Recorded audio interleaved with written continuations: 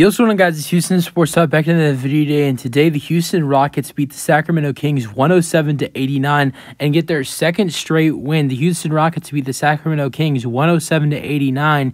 I know it's early on in the season, but they jump up all the way to 11th in the Western Conference and jump the Sacramento Kings, but who cares? It's not even two weeks into the season yet. Just wanted to note that if anybody does care about that.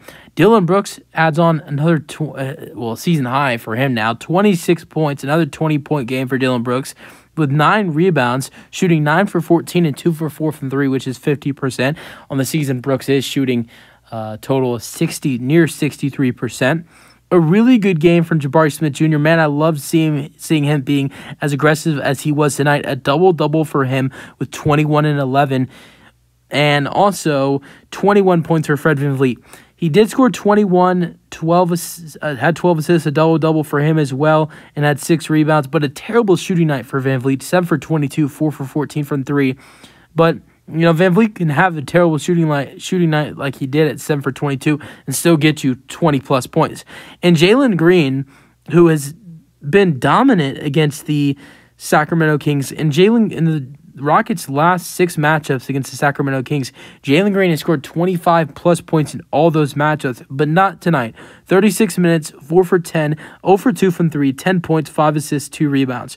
And Alperen Sengun I said in my preview today that Sengun would get another game where it's kind of close to a triple double and didn't even have a double double, but was still close. 15 points, 9 rebounds, 6 assists, 2 steals for LP, 7 for 13, 1 for 3, 3 from 3.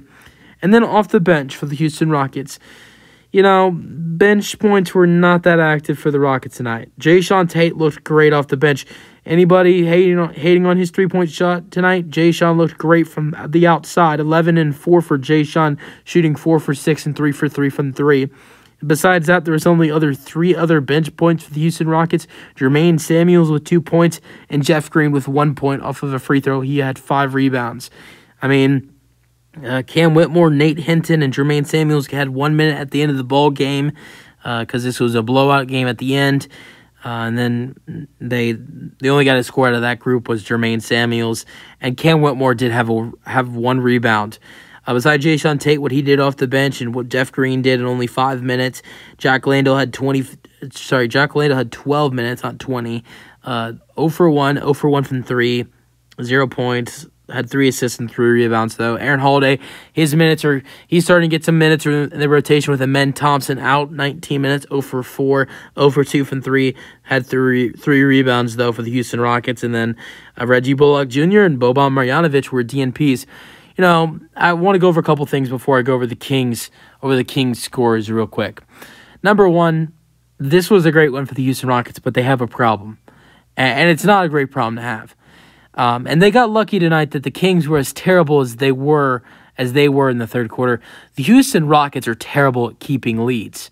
They had a 15 point lead in the first half. We're playing great basketball. At the the first quarter, they were up 33 to 19. They were up 30 to 15 at one point in the first quarter. But the Kings make a little bit of a comeback at the end of the uh, then at the end of the second, going into halftime, they outscore the Rockets by eight in the second quarter, and it's 53 to 59. The Rockets are only up six at halftime. The Rockets get off to a great start um, to start the second half, 64 to 55. So they're playing good basketball, outscoring the Kings to start the third quarter, uh, five to two, and they're up by nine points. But then the Kings go on a huge run and they take the lead 65 to 64 it would be the houston it would be sorry it'd be the sacramento kings first lead of the night. But thank god both teams went on a huge stretch of not being able to score the basketball. And it, and it was very it was so bad enough that wouldn't surprise me if it ended up on Shaqtin' the Fool next week? But only 27 points from both teams in the third quarter. The Rockets got lucky the Kings didn't get hot and they were playing just as bad as them, but the Rockets blew another double digit lead again.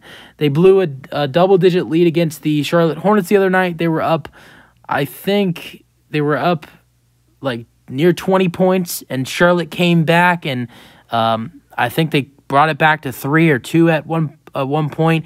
Then the Houston Rockets pulled away in the fourth quarter against Charlotte the other night, and they were up 106 to 92. They're up 14 at the in the final minutes of the fourth quarter. Then at the end, I think there might have been four or five minutes left on the clock when they were at 106 to 92. Then next thing you know, the Rockets are only winning 115 to 110.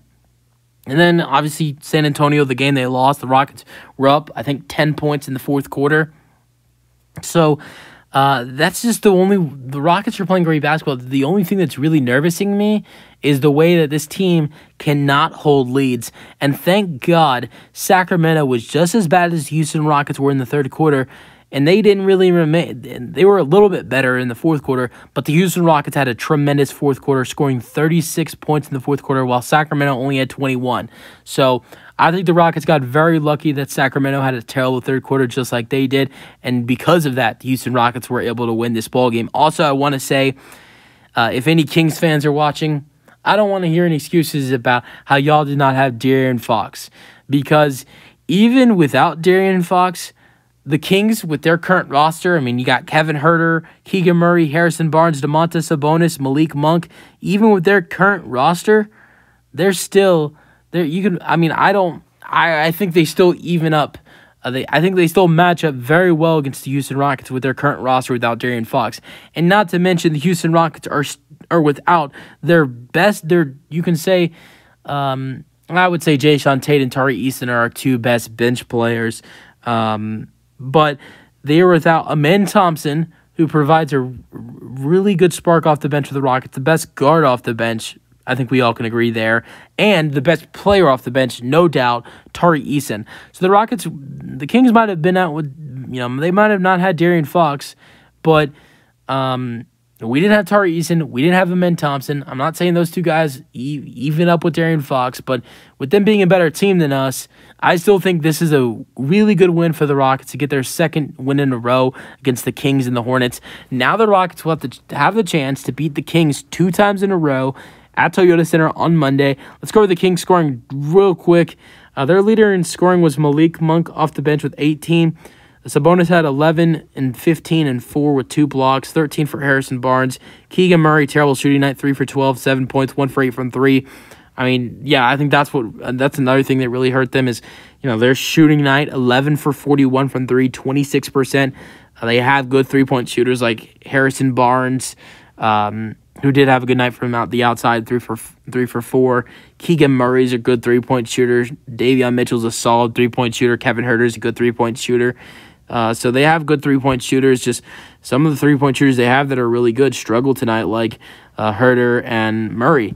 And those two guys combined for one for eleven from the outside. So um, then 18 for Malik Monk, 10 for Chris Duarte, 12 for JaVale McGee with six rebounds, and the Rockets get the win 107 to 89. That's the video. If you guys enjoyed them, your thoughts, and peace out. Go Rockets.